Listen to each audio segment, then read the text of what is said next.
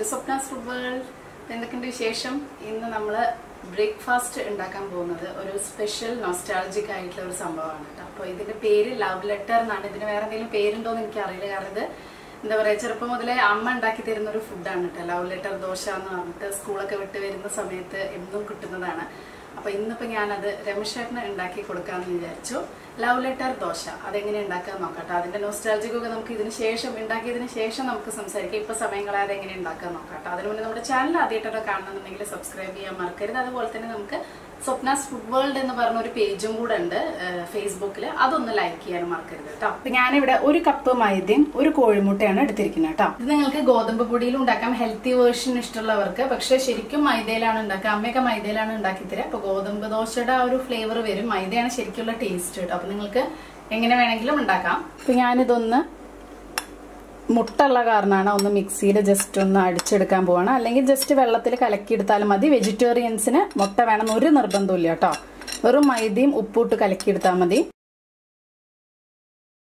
ആദ്യം ഒരു അര ഗ്ലാസ് വെള്ളം എടുത്തിട്ട് നമുക്കൊന്ന് മിക്സിയിൽ അടിച്ചെടുക്കാം. പിന്നെ വേണമെങ്കിൽ അതിനനുസരിച്ച് നമുക്ക് കൂട്ടാം കേട്ടോ അപ്പൊ ഞാനിത് അടിച്ചെടുത്തിട്ടുണ്ട്. ഏകദേശം ഒരു ഒന്നേകാൽ കപ്പ് വരെ വേണ്ടി വന്നു. പിന്നെ ഇതിപ്പോ കുറച്ച് വെള്ളം കൂടിയാലും കുഴപ്പമില്ല. കാരണം നമുക്ക് കുറച്ച് മൈദ വെച്ചിട്ട് അഡ്ജസ്റ്റ് ചെയ്യാം. അല്ലെങ്കിൽ വെള്ളം കുറഞ്ഞു കഴിഞ്ഞാൽ കുറച്ചും കൂടെ വെള്ളം. അപ്പൊ അതുകൊണ്ട് കറക്റ്റ് ഒരു വെള്ളത്തിന് അളവ് അങ്ങനെയൊന്നുമില്ല. അപ്പൊ ഇത് കറക്റ്റ് കൺസിസ്റ്റൻസിയാണ് കേട്ടോ. ഈ ദോശയുടെ ബാറ്ററിലേക്ക് നമ്മൾ കുറച്ച് ഉപ്പ് ആവശ്യത്തിന് നമ്മുടെ ദോശയ്ക്ക് ഉപ്പ് ചേർക്കില്ലേ? അതുപോലെ ഉപ്പ് ചേർത്ത് കൊടുക്കണം കേട്ടോ. എന്നിട്ട് നന്നായിട്ടൊന്ന് മിക്സ് ചെയ്യാം. അപ്പൊ നമ്മുടെ ബാറ്റർ റെഡിയായി. ഇനി നമുക്ക് ചെറിയൊരു ഫില്ലിംഗ് പരിപാടിയും കൂടെ ഉണ്ട് കേട്ടോ. അപ്പം അതും കൂടെ ചെയ്യാം. ഇനി നമ്മളൊരു പാൻ ചൂടാക്കി അതിലേക്ക് നെയ്യ് ഒഴിക്കുക. നെയ്യാണ് ഇതിന്റെ ടേസ്റ്റ് കേട്ടോ. ഒരു ഒന്നോ രണ്ടോ ടേബിൾ സ്പൂൺ ഇതിന് ചെറിയ സ്പൂൺ ആയ കാരണമാണ്. അതിലേക്ക് ഞാനിതാ ഇത്രയും തേങ്ങ ചിരകിയത് ചേർത്തിട്ടുണ്ട്. ഇത് ഏകദേശം ഒരു അരമുറി തേങ്ങ ഉണ്ടാവും. ചെറിയ തേങ്ങയാണ് കേട്ടോ. അതുകൊണ്ട് അരമുറി ഫുൾ എടുത്തിട്ടുണ്ട്. ഇതിലേക്ക് ശരിക്കും നമ്മൾ അണ്ടിപ്പരിപ്പ് അതൊക്കെ വേണമെങ്കിൽ ചേർക്കാം. പക്ഷെ അമ്മ അതൊന്നും ചേർക്കാറില്ല. എപ്പോഴും ഈ ഒരു തേങ്ങയും പഞ്ചസാരയും മാത്രമാണ് ആ ഫില്ലിങ് ഞാൻ കഴിക്കുമ്പോൾ ഉണ്ടാവാറുള്ളൂ അപ്പൊ അതുകൊണ്ട് പിന്നെ ഇവിടെ അണ്ടിപരിപ്പ് ഈ സമയത്ത് ഇല്ല. അതുകൊണ്ട് വെറും തേങ്ങയും നെയ്യും പിന്നെ നമുക്ക് കുറച്ച് പഞ്ചസാര ഇടണം കേട്ടോ. തേങ്ങ ഒരുപാട് വഴന്ന് കിട്ടുന്ന വേണ്ട കണ്ടോ? ഇത്ര മതി. ബ്രൗൺ കളർ അങ്ങനെ ആക്കണ്ട. പഞ്ചസാര പക്ഷെ വേണം ഫില്ലിങ്ങിൽ അതുകൊണ്ട് ഞാനിവിടെ ഏകദേശം ഒരു രണ്ട് ടേബിൾ സ്പൂൺ പഞ്ചസാര ഇടുന്നുണ്ട് കേട്ടോ ഇത്ര മതിയാവും ഈ തേങ്ങയ്ക്ക്. ഒരു കാൽ ടീസ്പൂൺ ഏലക്കാപ്പൊടിയും കൂടെ ചേർത്ത് കൊടുത്താൽ നല്ല ടേസ്റ്റ് ഉണ്ടാവും. അപ്പൊ ഇത് ജസ്റ്റ് ഈ മൂന്നും കൂടെ ഒന്ന് മിക്സ് ആയാൽ മതി. ഇനി നമുക്ക് തീ ഓഫ് ചെയ്യാം. നല്ല ബ്രൗൺ കളർ ആവുന്നു വേണ്ട കേട്ടോ അപ്പൊ ഞാൻ തീ ഓഫ് ചെയ്യാൻ പോവാണ്. നമ്മുടെ ഫില്ലിങ് റെഡിയായി അപ്പൊ ഞാൻ നമ്മുടെ ദോശ ബാറ്റർ പരത്തി എടുക്കാൻ പോവാട്ടോ കുറച്ചും കൂടെ കട്ടിയാണെങ്കിലും കുഴപ്പമില്ല. സാധാരണ ദോശ പോലെ നെയ്യും എണ്ണയും അങ്ങനത്തെ കാര്യങ്ങളൊന്നും ഒഴിക്കണ്ട. ജസ്റ്റ് ഒന്ന് ഇതായി കഴിഞ്ഞ് ഒന്ന് തിരിച്ചിട്ട് നമ്മുടെ പാൻ കേക്ക് പോലെ വൈദ്യായിട്ടാണല്ലോ പാൻ കേക്ക് ഉണ്ടാക്കുക അത് കുറച്ച് ചെറുത്ത് കട്ടിയിലാവും. ഇത് കുറച്ച് വലുതായിട്ടായിരിക്കും. അത്രയുള്ള വ്യത്യാസം കേട്ടോ അപ്പൊ നമ്മുടെ ദോശ ഞാൻ ഇവിടെ ഒന്ന് തിരിച്ചിട്ട് കൊടുക്കുന്നുണ്ട് കേട്ടോ ഞാൻ അങ്ങനെ ചെയ്യാറുണ്ട്. രണ്ട് സൈഡും എപ്പോഴും ഒന്ന് നേരം പോലെ ആയിക്കിട്ടെ. നമ്മുടെ ദോശ റെഡി ആയിട്ടുണ്ട്. ഇതിലേക്ക് നമ്മൾ ഈ നേരത്തെ ആ തേങ്ങയുടെ ഫില്ലിംഗ് ഉണ്ടല്ലോ അതൊന്ന് ഇതുപോലെ വെച്ചു കൊടുക്കണം. ഈ ഫില്ലിംഗ് ആണ് കേട്ടോ അതിന്റെ ടേസ്റ്റ് ഇതിങ്ങനെ കഴിക്കാൻ സൂപ്പർ ടേസ്റ്റ് ആണ്.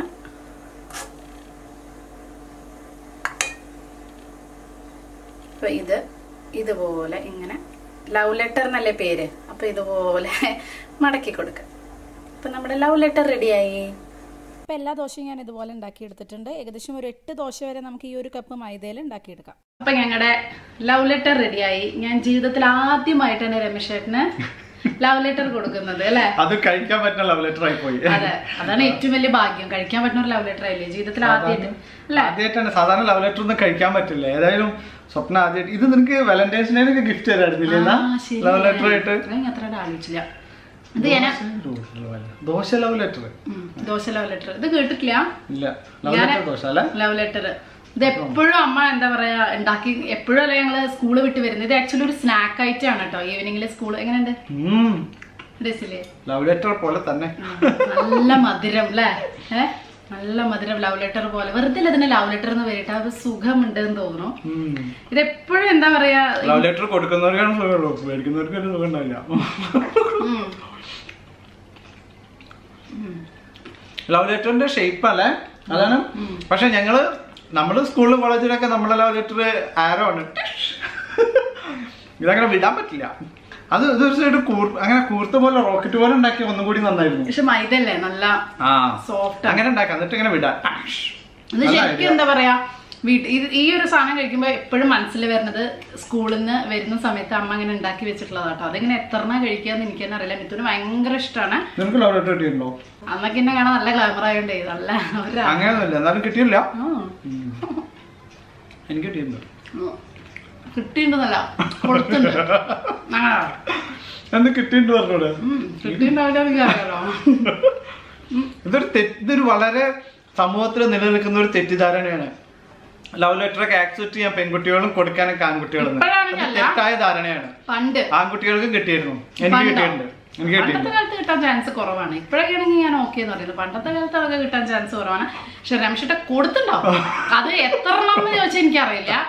എത്ര എണ്ണ ചിലപ്പോ എന്താ പറയാ കൗണ്ട് ചെയ്യാൻ പറ്റുണ്ടാവില്ല എന്തിനാണ് വെറുതെ നല്ലൊരു ദോശ വന്നിട്ട് അതൊക്കെ ഓർമ്മിപ്പിക്കണത്? അതൊക്കെ രസമല്ലേ അല്ല ഈ ലവ് ലെറ്റർ കഴിക്കുമ്പോ അങ്ങനത്തെ പല ലവ് ലെറ്റേഴ്സ് ഓർമ്മ വരുന്നില്ലേ? എല്ലാം ഓർമ്മ വരുന്നുണ്ട്. ഇതുപോലെ മധുരമുള്ളതായിരുന്നു എല്ലാം. അത് പണ്ട് സ്കൂൾ കോളേജ് കാലങ്ങൾ. അന്നൊക്കെ നിങ്ങൾ നല്ല ഭംഗിയുള്ള പെൺകുട്ടികൾക്കല്ലേ കൊടുക്കുള്ളൂ. അതേപോലെ ഒന്നിന് കാള പത്ത് വയസ്സില്ലാത്ത പെൺകുട്ടികളെ കൊടുക്കില്ലല്ലോ. ഭംഗി അവിടെ ഒരു ഘടകമായിരുന്നില്ല. ഭംഗി അവിടെ ഘടകമായിരുന്നു എനിക്കറിയാം അതാണത് എന്നെ സംബന്ധിച്ചോളം ഭംഗി ഒരു ഘടകമായിരുന്നില്ല. ഞാനൊക്കെ സ്കൂളിൽ പഠിക്കുമ്പോൾ എന്നെ എന്റെ പോലെ വളരെ കഷ്ടം. നിങ്ങൾ തന്നെ കണ്ടിട്ടുണ്ടാവും പണ്ടത്തെ സ്കൂൾ ഫോട്ടോസ്. അതുകൊണ്ട് ഒരാൾ പോലും ലവ് ലെറ്റർ തന്നിട്ടില്ല കേട്ടോ.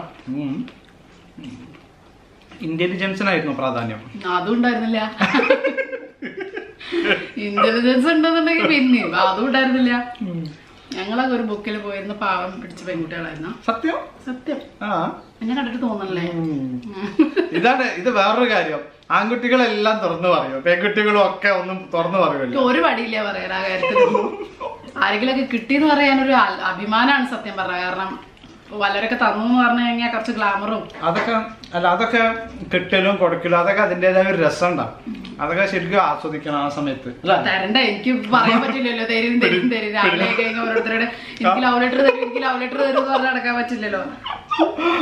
ആരെങ്കിലും തരട്ടെ. നല്ല ഭാഗ്യമുള്ള കുട്ടികളൊക്കെ ഉണ്ടായിരുന്നു. അപ്പൊ വിചാരിച്ചിരുന്നു ഇവരൊക്കെ ലവ് ലെറ്റർ തന്നിരുന്നെങ്കിൽ. അവർക്കൊക്കെ നല്ല ഭംഗി അവരൊക്കെ നല്ല ഭംഗിയുള്ള പെൺകുട്ടികൾക്ക് കൊണ്ടേ ലവ് ലെറ്റർ കൊടുക്കും. ഞങ്ങളൊന്നും ആർക്കും വേണ്ട.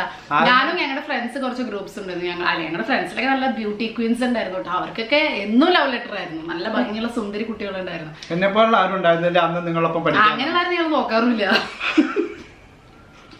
അയ്യോ കണ്ടില്ലേ?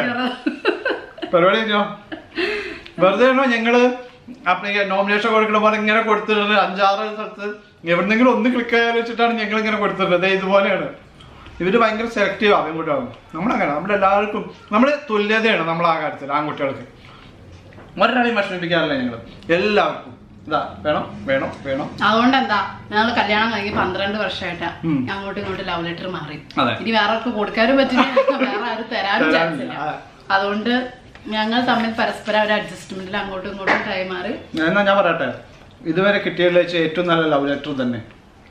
അതെന്താ അറിയോ സ്നേഹത്തിന്റെ ലവ് ലെറ്റർ ആണോ. രുചിയുടെ സ്നേഹവും രുചിയും കലർന്നല്ല ഇപ്പൊ മനസ്സിലായില്ലേ? സ്നേഹത്തിന്റെ രുചിയുടെയും ലവ് ആ ഒരു ഇതിന്റെ ടേസ്റ്റ് ലോകത്ത് വേറെ അപ്പൊ നമുക്ക് ഈ ലവ് ലെറ്ററിനെ എങ്ങനെ നിർവചിക്കാം?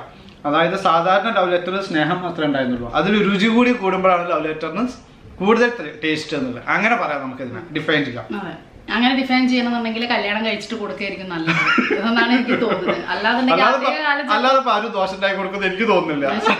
ആ അത് ശരിയാണ് അപ്പൊ ഇനി ആർക്കെങ്കിലും വർത്തകന്മാരെ ഒന്ന് സ്നേഹം പ്രകടിപ്പിക്കാൻ ഒരു ലവ് ലെറ്റർ ഇതിന്റെ മുകളിൽ സംഭവം ശരിയാട്ടോ. വാലന്റൈൻസ് ഡേ എന്നൊക്കെ ഇത് വാലന്റൈൻസ് ഡേ നല്ലൊരു ഐഡിയ ഉണ്ടോ എടുത്തു വെച്ചോളൂ. അടുത്ത ഫെബ്രുവരി കുറെ സമയം ഇപ്പൊ ഇന്നലെ അമ്മേനെ വിളിച്ചപ്പോഴാണ് ഞാൻ ചോദിച്ചു കുറെ ദിവസം അപ്പൊ ഞാൻ അമ്മോട് വിളിച്ചു ചോദിച്ചു. അമ്മ എങ്ങനെ ലവ് ലെറ്റർ ഉണ്ടാക്കിയിരുന്നത്? അപ്പൊ അമ്മ അങ്ങനെ അമ്മ ഞാൻ അങ്ങനെ ചോദിച്ചു രമേശേട്ടൻ മുന്നേ ഞാൻ വിളിച്ചത്.